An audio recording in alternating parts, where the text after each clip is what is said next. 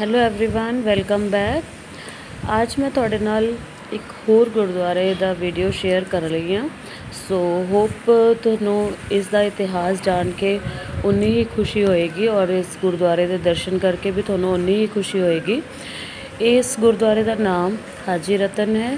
ਗੁਰੂ ਗੋਬਿੰਦ ਸਿੰਘ ਜੀ ਪਿੰਡ ਪੁੱਚੋ ਅਤੇ ਭਾਗ ਸਿੰਘ ਹੁੰਦੇ ਹੋਏ 21 ਜੂਨ 1706 ਨੂੰ ਬਠਿੰਡਾ ਵਿਖੇ ਪਹੁੰਚੇ ਸੀ। ਤਾਂ ਗੁਰੂ ਸਾਹਿਬ ਨੇ ਰਤਨ ਹਾਜੀ ਕੋ ਬੁਲਾ ਕੇ ਬਚਨ ਬਿਲਾਸ ਕੀਏ। ਰਤਨ ਹਾਜੀ ਨੂੰ ਜਨਮ ਮਰਨ ਤੋਂ ਮੁਕਤ ਕੀਤਾ, ਜੋ ਕਿ ਮੈਂ ਤੁਹਾਨੂੰ ਕੱਲ ਵੀ ਦੱਸਿਆ ਸੀ। ਹੁਣ ਇਸ ਸਥਾਨ ਤੇ ਗੁਰਦੁਆਰਾ ਹਾਜੀ ਰਤਨ ਸੁਸ਼ੋਭਿਤ ਹੈ। ਜਦ ਪਿੰਡ ਦੀ ਸੰਗਤ ਨੂੰ ਪਤਾ ਲੱਗਿਆ ਕਿ ਗੁਰੂ ਗੋਬਿੰਦ ਸਿੰਘ ਜੀ ਰਤਨ ਹਾਜੀ ਕੋਲ ਆਏ ਹਨ, ਤਾਂ ਉਹਨਾਂ ਨੇ ਗੁਰੂ ਜੀ ਨੂੰ ਬੇਨਤੀ ਕੀਤੀ ਕਿ, ਪਾਤਸ਼ਾਹ, ਤੁਸੀਂ ਇੱਥੇ ਉਜਾੜ ਦੇ ਵਿੱਚ ਕਿਉਂ ਬੈਠੇ ਹੋ? ਕਿਰਪਾ ਕਰਕੇ ਕਿਲੇ ਵਿੱਚ ਚੱਲੋ। ਤਾਂ ਸੰਗਤ ਦੇ ਕਹਿਣ ਤੇ ਗੁਰੂ ਜੀ ਕਿਲੇ ਵਿੱਚ ਚਲੇ ਗਏ। ਤਾਂ ਗੁਰੂ ਜੀ ਨੇ ਸਭ ਨੂੰ ਉੱਥੇ ਜਾ ਕੇ ਪੁੱਛਿਆ ਕਿ ਤੁਹਾਨੂੰ ਕੀ ਦੁੱਖ ਤਕਲੀਫ ਹੈ? ਤਾਂ ਸੰਗਤ ਨੇ ਗੁਰੂ ਜੀ ਨੂੰ ਅੱਗੋਂ ਬੇਨਤੀ ਕੀਤੀ ਕਿ, ਪਾਤਸ਼ਾਹ ਜੀ, ਅਸੀਂ ਬਹੁਤ ਦੁਖੀ ਹਾਂ। ਤਾਂ ਇਸ ਕਿਲੇ ਵਿੱਚ ਇੱਕ ਰਾਖਸ਼ ਰਹਿੰਦਾ ਜੋ ਲੋਕਾਂ ਨੂੰ ਕੱਚੇ ਪੱਕੇ ਉਹਨਾਂ ਦੇ ਘਰ ਢਾ ਦਿੰਦਾ ਤੇ ਉਹਨਾਂ ਨੂੰ ਖਾ ਜਾਂਦਾ ਅਗਰ ਉਹ ਉਹਨਾਂ ਨੂੰ ਕੁਝ ਖਾਣ ਲਈ ਨਾ ਦੇਣ। ਸੋ ਇਤਿਹਾਸ ਮੈਂ ਨਾਲ ਨਾਲ ਦੱਸਦੇ ਰਵਾਂਗੀ ਬਟ ਇਹ ਜੋ ਹੈ ਗੁਰਦੁਆਰਾ, ਇਹ ਗੁਰਦੁਆਰੇ ਦਾ ਸਰੋਵਰ ਹੈ, ਜੋ ਤੁਸੀਂ ਦੇਖ ਰਹੇ ਹੋ। ਇੱਕ ਸਾਈਡ ਤੇ ਲੰਗਰ ਹੈ ਔਰ ਇੱਥੇ ਅੰਦਰ ਦਰਸ਼ਨ ਕਰਾਂਗੇ ਗੁਰਦੁਆਰਾ ਸਾਹਿਬ ਜੀ ਦੇ ਜਿੱਥੇ ਗੁਰੂ ਗ੍ਰੰਥ ਸਾਹਿਬ ਜੀ ਦੀ ਸਥਾਪਨਾ ਕੀਤੀ ਹੋਈ ਹੈ। ਔਰ ਮੈਂ ਵੀ ਕਾਫੀ ਟਾਈਮ ਤੋਂ ਬਾਅਦ ਇਸ ਗੁਰਦੁਆਰੇ ਵਿੱਚ ਆਈ ਹਾਂ। ਆਪ ਸਭ ਨੂੰ ਇਸ ਦੇ ਦਰਸ਼ਨ ਕਰਵਾਉਣ ਲਈ। ਸਰ, ਨਾਲ ਨਾਲ ਮੈਂ ਇਤਿਹਾਸ ਦੇ ਬਾਰੇ ਵੀ ਦੱਸਦੀ ਰਵਾਂਗੀ ਸੋ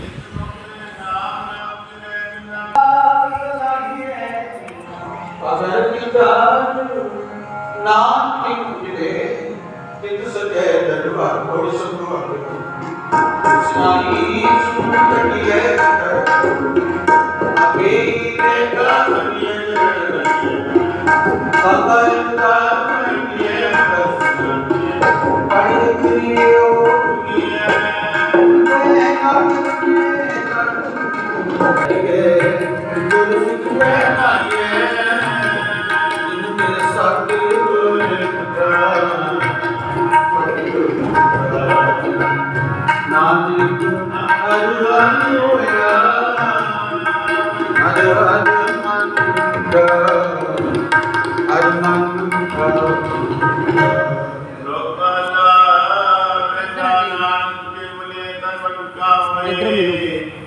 ਸਿੱਖ ਬਣਾਈਏ ਜਿਨ ਮੇਰੇ ਸਤਿਗੁਰ ਨਾਨਕ ਹਰਿ ਹਰਿ ਹੋਇਆ ਹਰਿ ਹਰਿ ਮਨ ਹਰਿ ਮਨ ਇੱਧਰ ਮਿਲੋ। ਕਿਤੋਂ ਬਚਨ ਦੀਏ ਮੁਕੇ ਮੁਕੇ ਸੋਏ ਕਿੱਗਾ ਕੇ ਦੀਏ ਮੁਕਾ ਮੁਕੇ ਪਾਏ ਨਾ ਮੁਕੇ ਆਤੀ ਹੈ ਆਣਾ ਲੈ ਜਾਣਾ ਲੰਮਨਾ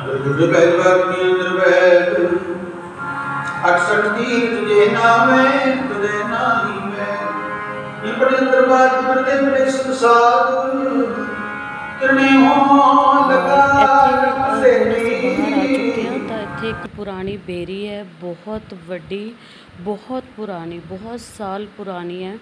ਤੁਸੀਂ ਦੇਖ ਹੀ ਸਕਦੇ ਹੋ ਕਿ ਇਹ ਇਸ ਦੇ ਜੋ ਤਣਾ ਹੈ ਔਰ ਇਸ ਦੀਆਂ ਜੋ ਟਹਿਨੀਆਂ ਹੈ, ਉਸ ਤੋਂ ਪਤਾ ਚੱਲਦਾ ਹੈ ਕਿ ਇੱਥੇ ਗੁਰੂ ਸਾਹਿਬ ਨੇ ਆਪਣਾ ਘੋੜਾ ਬੰਨਿਆ ਸੀ। ਜਦੋਂ ਉਹ ਇੱਥੇ ਬੈਠੇ ਹੋਏ ਸਨ, ਜਦੋਂ ਉਹ ਇੱਥੇ ਕੁਝ ਟਾਈਮ ਲਈ ਰਹੇ ਸਨ, ਤਾਂ ਆਪਣਾ ਘੋੜਾ ਉਹਨਾਂ ਨੇ ਇੱਥੇ ਬੰਨਿਆ ਸੀ।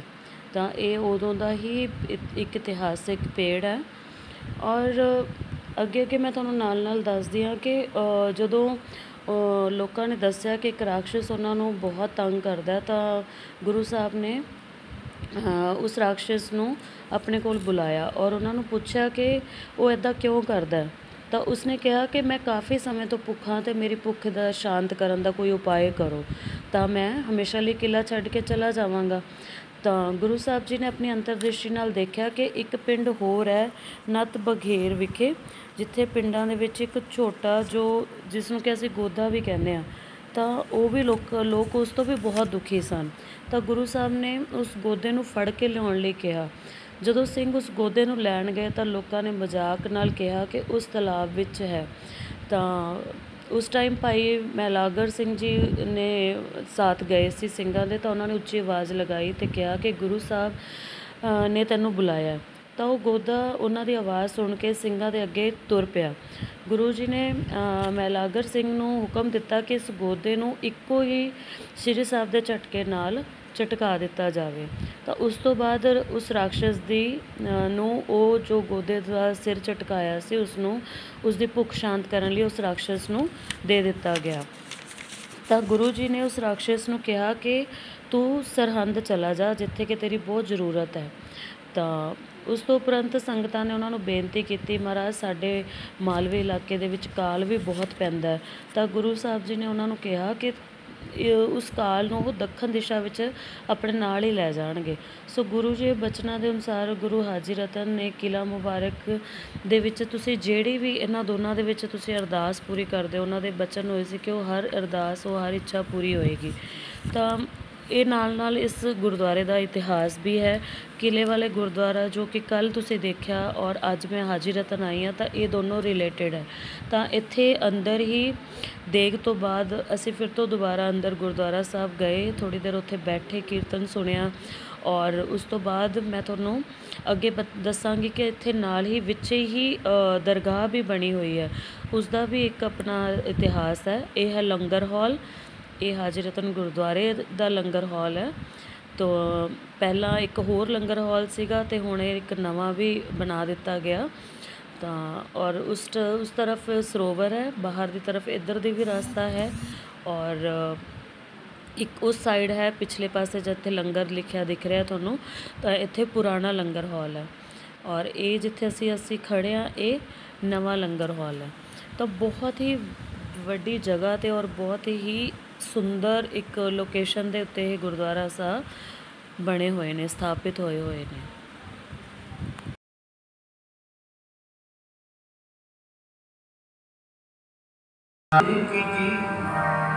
ਸਾਰਾ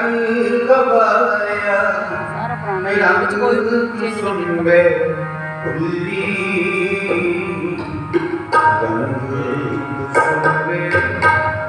ਨਹੀਂ ਕੀਤਾ।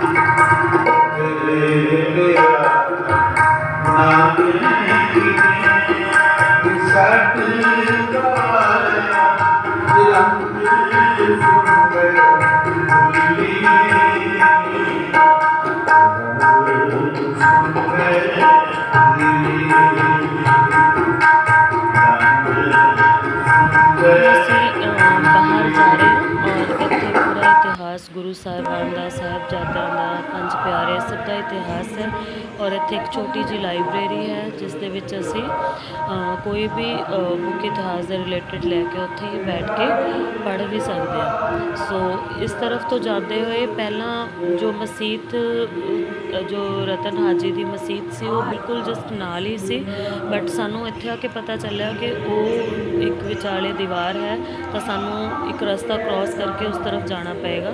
ਤਾਂ ਮੈਂ ਤੁਹਾਨੂੰ ਉਹ ਵੀ ਦਿਖਾਵਾਂਗੀ। ਤਾਂ ਅਸੀਂ ਹੁਣ ਇੱਥੋਂ ਗੁਰਦੁਆਰੇ ਵਿੱਚੋਂ ਨਿਕਲ ਚੁੱਕੇ ਹਾਂ ਔਰ ਸਾਰਾ ਇੱਥੋਂ ਦਾ ਤੁਹਾਨੂੰ ਮੈਂ ਇੱਕ ਵਾਰ ਫਿਰ ਤੋਂ ਵਿਊ ਦਿਖਾਵਾਂਗੀ। ਬਹੁਤ ਹੀ ਸੁੰਦਰ ਔਰ ਬਹੁਤ ਹੀ ਅਲੌਕਿਕ ਦ੍ਰਿਸ਼ ਹੈ।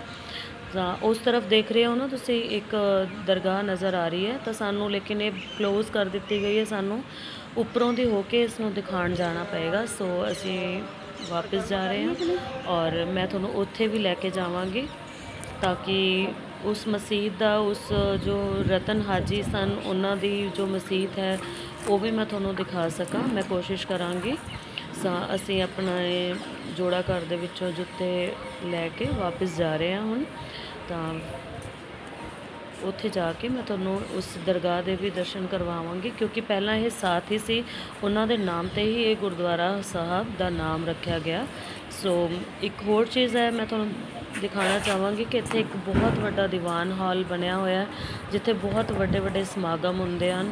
ਤਾਂ ਜਦੋਂ ਬਹੁਤ ਭਾਰੀ ਇਕੱਠ ਹੁੰਦਾ ਹੈ, ਤਾਂ ਉਸ ਟਾਈਮ ਸਾਰੀ ਸੰਗਤ ਇੱਥੇ ਜੁੜ ਕੇ ਕੀਰਤਨ ਦਾ, ਕਥਾਵਾਂ ਦਾ ਆਨੰਦ ਮਾਣਦੀ ਹੈ। ਇਹ ਹੈ ਦੀਵਾਨ ਹਾਲ ਜਿੱਥੇ ਜਿਹੜਾ ਕਿ ਬਾਬਾ ਦੀਪ ਸਿੰਘ ਜੀ ਦੇ ਸ਼ਹੀਦ ਦੇ ਨਾਮ ਤੇ ਬਣਾਇਆ ਗਿਆ ਹੈ, ਇਸ ਦੀ ਜੋ ਉਸਾਰੀ ਹੋਈ ਹੈ। ਤਾਂ ਇਹ ਵੀ ਬਹੁਤ ਹੀ ਪਿਆਰਾ ਔਰ ਹਵਾਦਾਰ ਖੁੱਲਾ ਦੇਖਿਓ। ਚਾਰੋਂ ਤਰਫ ਹਰਿਆਲੀ ਔਰ ਬਹੁਤ ਹੀ ਅੱਛੀ ਲੋਕੇਸ਼ਨ ਤੇ ਹੈ ਹੁਣ ਅਸੀਂ ਆ ਚੁੱਕੇ ਹਾਂ ਰਤਨ ਹਾਜੀ ਜੀ ਦੀ ਦਰਗਾਹ ਦੇ ਉੱਪਰ ਤੇ ਉਸ ਤਰਫ ਤੁਹਾਨੂੰ ਨਿਸ਼ਾਨ ਸਾਹਿਬ ਦਿਖ ਰਹੇ ਹੋਣਗੇ ਤਾਂ ਸਿਰਫ ਇੱਕ ਵਿਚਾਲੇ ਦੀਵਾਰ ਹੈ ਲੇਕਿਨ ਇਸ ਨੂੰ ਅਲੱਗ ਕਰ ਦਿੱਤਾ ਗਿਆ। ਪਹਿਲਾਂ ਇਹ ਇੱਕੋ ਹੀ ਸੀ। ਅ, ਅੰਦਰ ਗੁਰਦੁਆਰੇ ਦੇ ਅੰਦਰ ਦੇ ਹੀ ਤੁਸੀਂ ਦਰਸ਼ਨ ਕਰ ਸਕਦੇ ਸੀ। ਬਟ ਹੁਣ ਇਸ ਨੂੰ ਡਿਵਾਈਡ ਕਰ ਦਿੱਤਾ ਗਿਆ ਤਾਂ ਸਾਨੂੰ ਕਾਫੀ ਰਸਤਾ ਕ੍ਰਾਸ ਕਰਨ ਤੋਂ ਬਾਅਦ ਇੱਧਰ ਆਣਾ ਪਿਆ। ਲੇਕਿਨ ਮੈਂ ਤੁਹਾਨੂੰ ਇਸ ਦੇ ਦਰਸ਼ਨ ਕਰਵਾਉਣਾ ਸੀ। ਤਾਂ ਉਹਨਾਂ ਦਾ ਇਤਿਹਾਸ ਮੈਂ ਤੁਹਾਨੂੰ ਦੱਸ ਰਹੀ ਹਾਂ। ਤਾਂ ਮੈਂ ਉਹਨਾਂ ਦੇ ਉਹਨਾਂ ਦੀ ਦਰਗਾਹ ਵੀ ਤੁਹਾਨੂੰ ਦਿਖਾਣੀ ਜ਼ਰੂਰੀ ਸੀ। ਤਾਂ ਅਸੀਂ ਉਸ ਦਰਗਾਹ ਦੇ ਉੱਪਰ ਆਏ ਹਾਂ। ਤਾਂ ਗੁਰੂ ਸਾਹਿਬ ਨੇ ਹਰ ਧਰਮ ਦੇ ਲਈ ਕੁਰਬਾਨੀ ਕੀਤੀ ਹੈ। ਉਹਨਾਂ ਨੇ ਹਰ ਇੱਕ ਇਨਸਾਨ ਨੂੰ ਇੱਕੋ ਜਿਹਾ ਸਮਝ, ਸਮਝਣ ਦੀ ਔਰ ਮਦਦ ਕਰਨ ਦੀ ਹਮੇਸ਼ਾ ਸਿੱਖਿਆ ਦਿੱਤੀ ਹੈ ਸਾਨੂੰ। ਬਟ ਹੁਣ ਜੋ ਲੋਕ ਕਰਦੇ ਆ ਧਰਮ ਦੀ, ਜੋ ਰਾਜਨੀਤੀ ਕਰਦੇ ਆ, ਹਰ ਧਰਮ ਨੂੰ ਅਲੱਗ-ਅਲੱਗ ਮੰਨਦੇ ਆ, ਹਰ ਧਰਮ ਨੂੰ ਅਲੱਗ ਮੰਨਦੇ ਆ ਔਰ ਲੋਕ ਜਾਤ-ਪਾਤ ਕਰਨ ਲੱਗ ਗਏ ਆ, ਤਾਂ ਉਹ ਚੀਜ਼ਾਂ ਪਹਿਲਾਂ ਨਹੀਂ ਸੀ। ਔਰ ਨਾ ਹੀ ਗੁਰੂ ਸਾਹਿਬ ਨੇ ਸਾਨੂੰ ਇਸ ਤਰ੍ਹਾਂ ਦੀ ਸਿੱਖਿਆ ਦਿੱਤੀ ਹੈ ਕਿ ਅਸੀਂ ਇਸ ਧਰਮ ਨੂੰ ਨਹੀਂ ਮੰਨਣਾ, ਉਸ ਧਰਮ ਨੂੰ ਨਹੀਂ ਮੰਨਣਾ। ਇੱਥੇ ਬਹੁਤ ਸਾਰੀਆਂ ਮਸਜਿਦਾਂ ਤੁਹਾਨੂੰ ਮਿਲ ਜਾਣਗੀਆਂ। ਪਾਰਟਿਕੂਲਰ ਇੱਕ ਇੱਕ ਮਸਜਿਦ ਬਾਰੇ ਤਾਂ ਨਹੀਂ ਮੈਂ ਦੱਸ ਸਕਦੀ ਇੱਥੇ, ਕਿਉਂਕਿ ਇੱਥੇ ਜੋ ਇਤਿਹਾਸ ਸੀ, ਉਹ ਲਿਖਿਆ ਨਹੀਂ ਮੈਨੂੰ। ਹਾਜੀ ਰਤਨ ਜੀ ਦੇ ਬਾਰੇ ਚ ਜਿੰਨਾ ਪਤਾ ਮੈਂ ਉਹ ਤੁਹਾਨੂੰ ਦੱਸਿਆ ਇੱਥੇ। ਬਟ ਇੱਥੇ ਦੇਖੋ ਤੁਸੀਂ, ਬਹੁਤ ਸਾਰੀਆਂ ਮਸਜਿਦਾਂ ਬਣੀਆਂ ਹੋਈਆਂ ਨੇ। ਜਿਨ੍ਹਾਂ ਦੇ ਦਰਸ਼ਨ ਮੈਂ ਤੁਹਾਨੂੰ ਇੱਥੇ ਕਰਵਾ ਰਹੀ ਹਾਂ, ਤਾਂ ਇਹ ਗੁਰਦੁਆਰੇ ਦਾ ਹੀ ਇੱਕ ਪਾਰਟ ਸੀ, ਮਤਲਬ ਇਹ ਇਹ ਹੁਣ ਅਲੱਗ ਹੋ ਗਿਆ ਹੈ। ਤਾਂ ਇਸ ਨੂੰ ਦੇਖਣ ਲਈ ਤੁਹਾਨੂੰ ਅਲੱਗ ਤੋਂ ਇੱਕ ਜਗ੍ਹਾ ਆਉਣਾ ਪਏਗਾ। ਤਾਂ ਲੇਕਿਨ ਮੈਂ ਆਪਣੇ ਵੀਡੀਓ ਦੇ ਅੰਦਰ ਇਸ ਨੂੰ ਕਵਰ ਕੀਤਾ ਤਾਂ ਕਿ ਮੈਂ ਤੁਹਾਨੂੰ ਦਿਖਾ ਸਕਾਂ। ਤਾਂ ਇਹ ਵੀ ਬਹੁਤ ਸੋਹਣਾ ਮੇਨਟੇਨ ਕਰਕੇ ਇਸ ਨੂੰ ਰੱਖਿਆ ਗਿਆ ਹੈ। ਤਾਂ ਮੈਂ ਤੁਹਾਨੂੰ ਅੱਗੇ ਵੀ ਦਿਖਾਵਾਂਗੀ। ਇਹ ਦੇਖੋ ਸਾਰਾ ਬਹੁਤ ਅੱਛਾ ਇਸ ਨੂੰ ਕਵਰ ਕੀਤਾ ਗਿਆ। ਤਾਂ ਇਸ ਤਰਫ ਹੈ, ਇੱਕ ਮਸਜਿਦ ਬਣੀ ਹੋਈ ਹੈ। ਇਹ ਇੱਕ ਇਹ ਇੱਕ ਉਠਣੀ ਦੀ ਮਸਜਿਦ ਹੈ, ਜਿਸ ਦੇ ਉੱਤੇ ਕਿ ਇੱਕ ਮਾਮਾ ਭਾਂਜੀ ਜੋ ਕਿ ਆਪਣੇ ਪਿੰਡ ਤੋਂ ਭੱਜ ਕੇ ਆਏ ਸੀ, ਤਾਂ ਉਹਨਾਂ ਨੇ ਇਸ ਉਠਣੀ ਤੇ ਆਏ ਤਾਂ ਉਸ ਧਰਤੀ ਨੇ ਵੀ ਉਹਨਾਂ ਲਈ ਇਹਦੀ ਗਵਾਹੀ ਦਿੱਤੀ ਸੀ ਕਿ ਹਾਂ, ਇਹ ਰਿਸ਼ਤਾ ਬਹੁਤ ਗਲਤ ਹੈ। ਉਹਨਾਂ ਨੇ ਬਹੁਤ ਗਲਤ ਕਦਮ ਚੱਕਿਆ। ਤਾਂ ਮੈਂ ਤੁਹਾਨੂੰ ਅੱਗੇ ਦਿਖਾਣੀ ਹਾਂ ਕਿ ਉਸ ਉਠਣੀ ਦੇ ਉੱਪਰ ਬੈਠੇ ਹੀ ਉਹ ਧਰਤੀ ਦੇ ਉੱਤੇ ਸਮਾ ਗਏ ਸੀ। ਤਾਂ ਉਹ ਮਸੀਤ ਵੀ ਮੈਂ ਤੁਹਾਨੂੰ ਦਿਖਾ ਰਹੀ ਹਾਂ ਜਿਹੜੀ ਕਿ ਉਹ ਉਸ ਉਠਣੀ ਦੀ ਹੈ ਔਰ ਉਸ ਦੇ ਉੱਪਰ ਉਹ ਦੋਨੋਂ ਮਾਮਾ ਔਰ ਭਾਂਜੀ ਬੈਠੇ ਸੀ, ਕਿਉਂਕਿ ਮਾਮਾ ਭਾਂਜੀ ਇੱਕ ਧੀ ਦਾ ਤੇ ਇੱਕ ਮਾਮੇ ਦਾ ਰਿਸ਼ਤਾ ਜੋ ਸੀ, ਉਸ ਨੂੰ ਕਲੰਕਿਤ ਕੀਤਾ ਗਿਆ ਸੀ, ਤਾਂ ਉਸ ਨੂੰ ਧਰਤੀ ਨੇ ਵੀ ਆਪਣੀ ਗਵਾਹੀ ਦਿੱਤੀ ਸੀ ਉਸ ਟਾਈਮ ਤੇ ਇਹ ਰਹੀ ਉਹ ਮਸੀਤ। ਇਹ ਰਹੀ ਉਠਣੀ ਔਰ ਇਸ ਦੇ ਉੱਪਰ ਮਾਮਾ ਔਰ ਭਾਂਜੇ ਸੀ, ਜੋ ਉਹ ਧਰਤੀ ਦੇ ਅੰਦਰ ਹੀ ਸਮਾ ਗਏ ਸੀ। ਮਤਲਬ ਕਿ ਉਹਨਾਂ ਨੇ ਇਹ ਉਸ ਟਾਈਮ ਇਸ ਚੀਜ਼ ਨੂੰ ਬਹੁਤ ਵੱਡਾ ਮੰਨਿਆ ਸੀ ਕਿ ਮਤਲਬ ਬਹੁਤ ਵੱਡਾ ਪਾਪ ਹੈ ਇਹ। ਤਾਂ ਉਸ ਤੋਂ ਬਾਅਦ ਮੈਂ ਤੁਹਾਨੂੰ ਅੰਦਰ ਜੋ ਮਸੀਤ ਹੈ ਰਤਨ ਹਾਜੀ ਜੀ ਦੀ, ਉਹ ਵੀ ਦਿਖਾ ਰਹੀ ਹਾਂ। ਇਹ ਕਾਫੀ ਅੰਦਰ ਡੀਪ ਨੂੰ ਜਾ ਕੇ ਬਣੀ ਹੋਈ ਹੈ। ਕਾਫੀ ਡੂੰਘਾਈ ਦੇ ਅੰਦਰ ਬਣੀ ਹੋਈ ਹੈ। ਤਾਂ ਇਹ ਦੇਖੋ। ਇਹ ਉਹ ਮਸੀਤ ਹੈ ਰਤਨ ਹਾਜੀ ਜੀ ਦੀ, ਜਿਸ 'ਤੇ ਲੋਕ ਆਉਂਦੇ ਆ, ਮੰਨਤਾ ਮੰਨਣ ਆਉਂਦੇ ਆ ਔਰ ਆਪਣੀ ਮਨੋਕਾਮਨਾ ਮੰਨਦੇ ਆ ਔਰ ਫਿਰ ਆਪਣੀ ਚਾਦਰ ਚੜਾਉਂਦੇ ਆ, ਜੋ ਵੀ ਉਹਨਾਂ ਦੀ ਮੰਨਤਾ ਹੈ ਉਹ ਪੂਰੀ ਕਰਦੇ ਆ। ਤਾਂ ਇਸ ਦਾ ਇੱਕ ਆਪਣਾ ਇਤਿਹਾਸ ਹੈ, ਮੱਕਾ ਮਦੀਨਾ ਦੀ ਫੋਟੋ ਹੈ ਇੱਥੇ। ਬਹੁਤ ਅੱਛਾ ਇਸ ਨੂੰ ਵੀ ਮੇਨਟੇਨ ਕਰਕੇ ਰੱਖਿਆ ਗਿਆ ਹੈ। ਤਾਂ ਇਹ ਵੀ ਇੱਕ ਇਤਿਹਾਸਿਕ ਜਗ੍ਹਾ ਹੈ, ਤਾਂ ਤੁਸੀਂ ਗੁਰਦੁਆਰਾ ਸਾਹਿਬ ਆਓ ਤਾਂ ਤੁਸੀਂ ਇੱਥੇ ਵੀ ਜ਼ਰੂਰ ਦਰਸ਼ਨ ਕਰਨ ਆਣਾ ਕਿਉਂਕਿ ਰੱਬ ਸਾਰੇ ਕਿਤੇ ਹੀ ਹੈ। ਇਹ ਸਿਰਫ ਆਪਣੇ ਦਿਲਾਂ ਦੇ ਵਿੱਚ ਹੁੰਦਾ ਕਿ ਅਸੀਂ ਮੰਦਿਰ ਨਹੀਂ ਜਾਣਾ, ਅਸੀਂ ਗੁਰਦੁਆਰੇ ਨਹੀਂ ਜਾਣਾ। ਸ- ਉੱਥੇ ਵੀ ਰੱਬ ਹੈ, ਗੁਰਦੁਆਰੇ ਵੀ ਰੱਬ ਹੈ, ਸਭ ਜਗ੍ਹਾ ਪਰਮਾਤਮਾ ਸਭ ਜਗ੍ਹਾ ਹੁੰਦਾ। ਇਹ ਸਿਰਫ ਆਪਣੀ ਮਾਨਤਾ ਦੇ ਉੱਪਰ ਹੈ ਕਿ ਤੁਸੀਂ ਉਸ ਚੀਜ਼ ਨੂੰ ਕਿਵੇਂ ਲੈਂਦੇ ਹੋ। ਰੱਬ ਨੇ ਇਨਸਾਨ ਇੱਕੋ ਹੀ ਬਣਾਇਆ ਔਰ ਉਸ ਨੂੰ ਬਿਲਕੁਲ ਸੇਮ ਬਣਾਇਆ ਸਭ ਨੂੰ। ਔਰ ਉਸਨੇ ਕੋਈ ਭੇਦਭਾਵ ਨਹੀਂ ਕੀਤਾ। ਲੇਕਿਨ ਇਨਸਾਨਾਂ ਨੇ ਉਸ ਦੇ ਅੰਦਰ ਭੇਦਭਾਵ ਕੀਤਾ ਹੋਇਆ। ਤਾਂ ਮੈਨੂੰ ਅੱਜ ਬਹੁਤ ਖੁਸ਼ੀ ਹੋਈ ਕਿ ਮੈਂ ਅੱਜ ਬਹੁਤ ਟਾਈਮ ਬਾਅਦ ਦੁਬਾਰਾ ਤੋਂ ਇੱਥੇ ਆਈ ਔਰ ਮੈਂ ਤੁਹਾਡੇ ਨਾਲ ਇਹ ਵੀਡੀਓ ਸਾਂਝੀ ਕੀਤੀ। So thank you for watching